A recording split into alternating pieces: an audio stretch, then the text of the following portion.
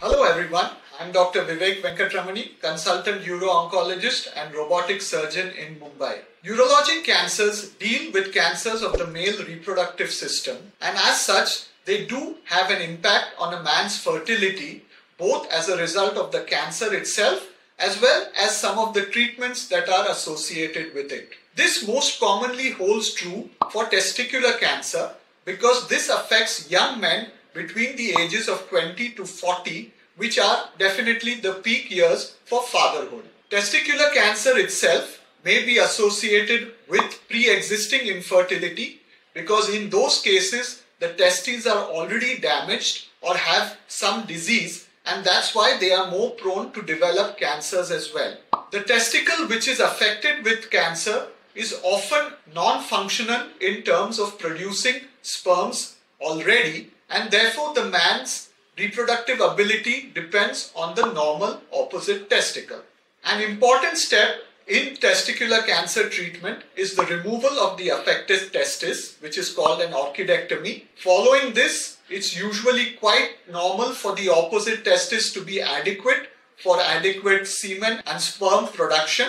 However, if further treatments like radiation or chemotherapy are needed in that patient, then that may depress the normal testicles functioning as well. It has been shown that radiation also affects the quality of sperms being produced as well as the quantity. This is true for up to one or two years after radiation has been given.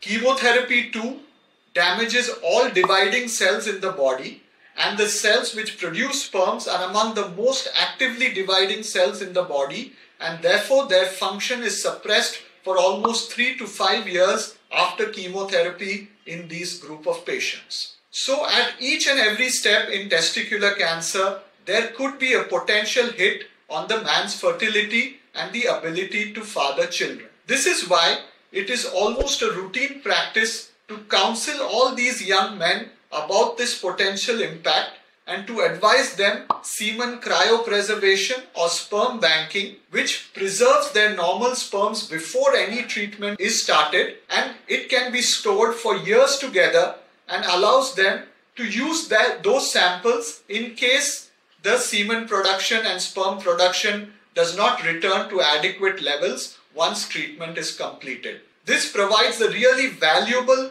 safety mechanism for these men and they would be able to undergo and complete normal fatherhood even using the stored sperm samples. We have seen many cases of young men treated for testicular cancer who have gone on to be fathers three or four years after their treatment is completed and this is quite a regular occurrence.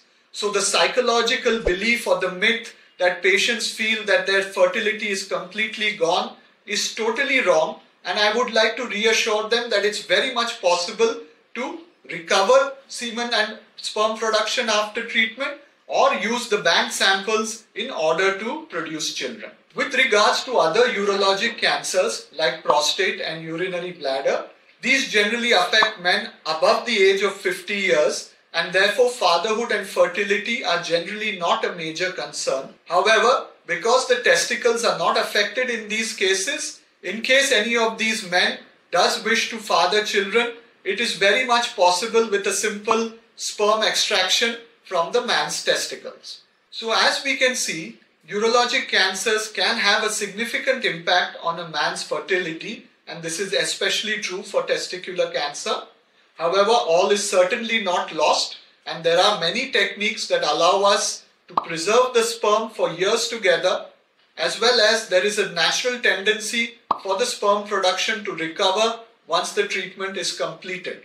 And therefore, there is no real reason to lose hope and men should be open to discuss all these problems with their doctor before any treatment is started in order to gain clarity and confidence to go ahead with the treatment. If you found this video useful, please like and share it with others and don't forget to subscribe to my YouTube channel.